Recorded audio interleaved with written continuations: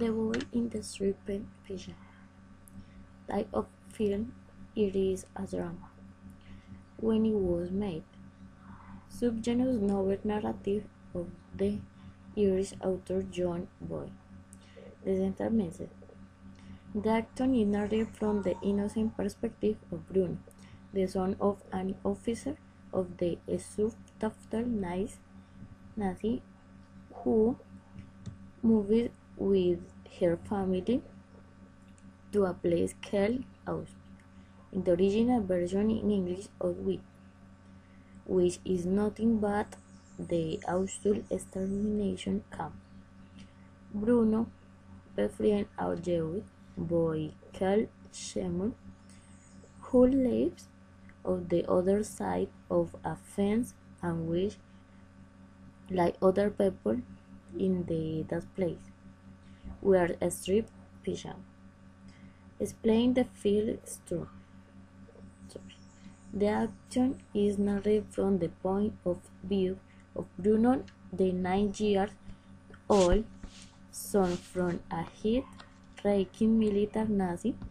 He and his family are forced to leave Berlin when his father intended to work in the Auschwitz extermination camp.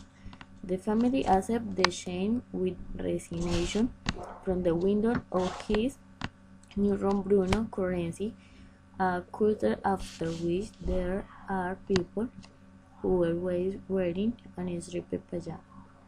It is enough the Jewish prisoners exploring in the surrounding area of your new home.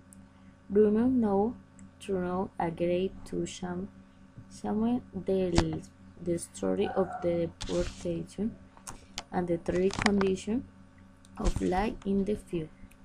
Description of the actor. Main, of, main characters. Bruno is the protagonist of the story. It is fairly curious and some, sometimes something suspicious. The most character feature of the personal sense of innocence. Samuel is a Jew and becomes a good friend of Bruno. He is currently detained in the concentration camp of Auschwitz with her family. It is slim and has should have. Opinion of the film. It is is a movie that is full of the reality in which a very sad